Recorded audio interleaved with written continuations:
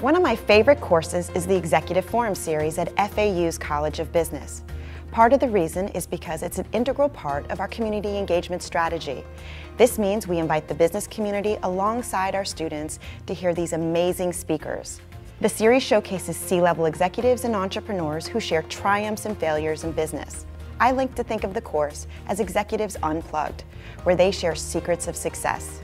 Many times we think of executives arriving at success with a sure-footed plan.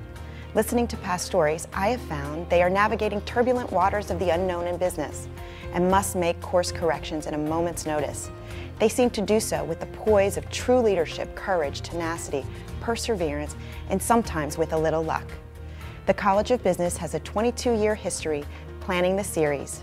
Great leaders such as Ralph de la Vega, CEO of AT&T Wireless and Mobility, Bernie Marcus, co-founder of Home Depot Company, Manny Medina, founder of Terremark, and many others.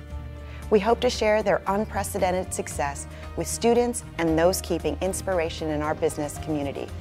Join us in our Leadership Development Lecture Series. Check our website for dates, speakers, bios, and registration at business.fau.edu Executive Forum.